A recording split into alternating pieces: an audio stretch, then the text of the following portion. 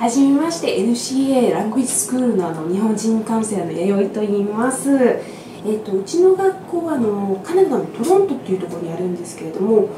トロントは、まあ、一応首都はオタワになるんですがあのカナダで一番の都市っていうのがトロントになるんですけどもそこの、まあ、ど真ん中にある学校なんですけれども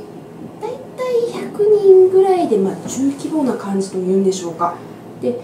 うちの学校のあのくいいところだねって言われるのはあの、まあ、みんながみんなを知ってる環境なのでこう例えばもちろん授業中とかに先生が英語のミスを直してくれるっていうのはあるかと思うんですけれどもう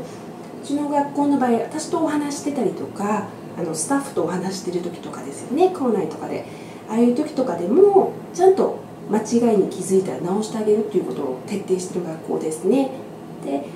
うちの学校っていうのはすごく勉強熱心な人が来る傾向にあるので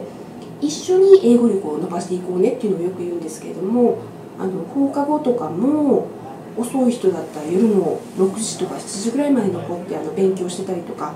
で私の方でも英語の勉強のサポートとかさせていただいてるのであの手応えを感じながら一緒になんか英語力を上げていければいいなって思ってます。専門プログラムとかもすごく充実しておりましてあのキャリアプログラム例えば月金にビジネス英語火水木に TOEIC を習うキャリアプログラムというものであったりとか英語力、まあ、言語力っていうのが必要になってくるので帰国後の就職に役立てばっていうことで英日通訳翻訳プログラムであったりあとカレッジ進学現地でカレッジ進学をされる方っていうのが非常に多いのでカレッジ進学準備プログラムとか TOEFL プログラムっていうのもこう ESL だけじゃなくて専門プログラムもすごく充実した学校になってます。トロントに来たりとかしたら私がよくうちの生徒とかに言うのがもちろん学校でお友達作りとかもすごく楽しんでほしいんですがよく「えそんなこと言われたことなかった」って言われるのがあの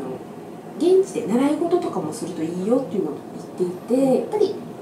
正しい英語とかを習ったのであればなんか今度はそれを生かしてなんかこう現地の人たちとコミュニケーションをとってその英語っていうのをコミュニケーションの手段として使ってほしいなと思って